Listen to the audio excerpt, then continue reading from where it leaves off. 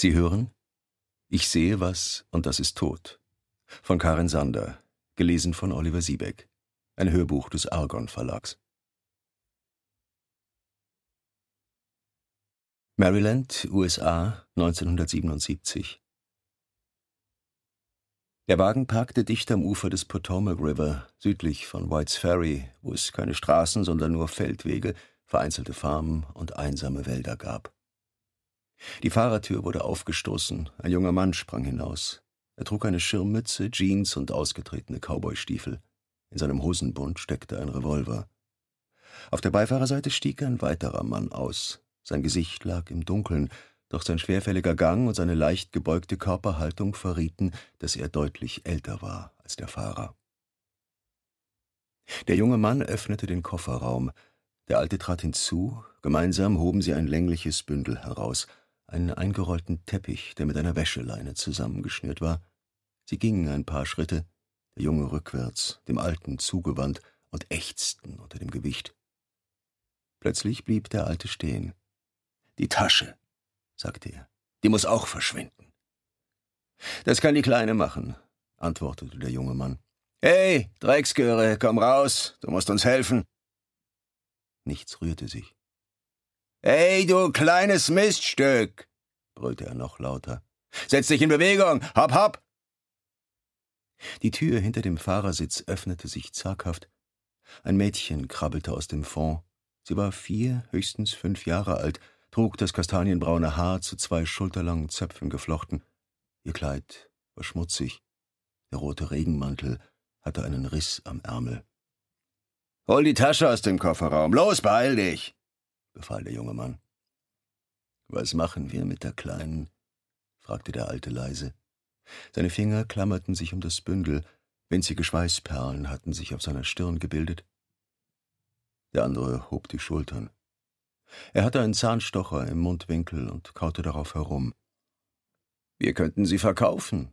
Bist du verrückt? Dem Alten rutschte beinahe der Teppich aus den Händen. Hastig packte er zu.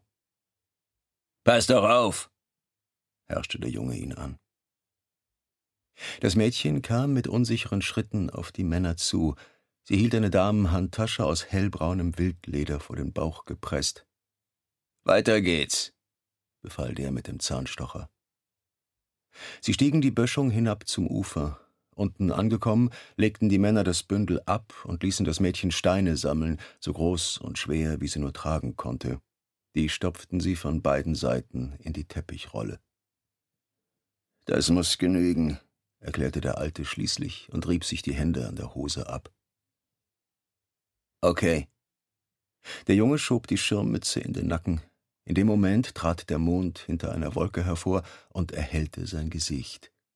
Einem zufälligen Beobachter wäre sofort die Ähnlichkeit mit dem Alten aufgefallen, doch weit und breit war niemand, der es hätte bemerken können. Dann ab mit ihr, knurrte er. Die beiden klemmten die Handtasche unter die Wäscheleine, die um den Teppich gewickelt war, und hoben das Bündel erneut an. Mit einem weiten Schwung warfen sie es in den Fluss. Blasen stiegen auf, während der Teppich langsam im Wasser versank. Das kleine Mädchen trat näher ans Ufer, streckte die Hand aus. Mama, flüsterte sie so leise, dass die Männer es nicht hören konnten. Mama. 38 Jahre später. Montag, 28. September, 0 Uhr 17. Georg Stadler knallte die Wagentür zu und schaute sich um. Schon lange war er nicht mehr in diesem Teil des Hafens gewesen. Die Straßenlaternen produzierten mehr Schatten als Licht, unterbrochen vom rotierenden Blau eines einzelnen Streifenwagens. Der Gebäudekomplex zeichnete sich unscharf gegen den Nachthimmel ab, unmöglich seine Ausmaße zu erfassen. Die Papierfabrik hatte vor einigen Jahren dicht gemacht und stand seither leer.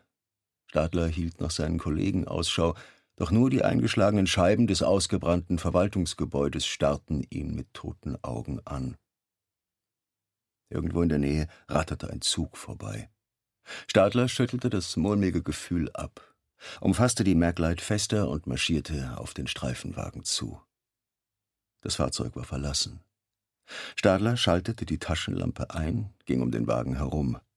Nichts. Wo zum Teufel steckte die Besatzung? Ein Knirschen, Schritte. Stadler fuhr herum. Herr Stadler? Verdammt! Müssen Sie sich so anschleichen? Ich habe den Nebeneingang überprüft. Der Kollege von der Streife, ein junger Bursche, den Stadler nicht kannte, deutete vage ins Dunkel. Und? Nichts? Das meine ich nicht. Stadler begann zu bereuen, dass er sich hatte breitschlagen lassen, mitten in der Nacht zu einem Tatort zu fahren, ohne zu wissen, worum es überhaupt ging. Er hätte die Sache der Kriminalwache überlassen sollen. Was mache ich hier? Weshalb wurde ich hergerufen? Das sehen Sie sich am besten selbst an. Kommen Sie. Der Streifenpolizist leuchtete mit seiner Taschenlampe auf ein halb heruntergelassenes Rolltor. Da geht's rein. Er duckte sich unter dem Tor durch und wurde von der Dunkelheit verschluckt. Stadler folgte ihm in das Gebäude. Der Lichtkegel der Maglite schaffte es nicht, die riesige Halle auch nur halbwegs auszuleuchten.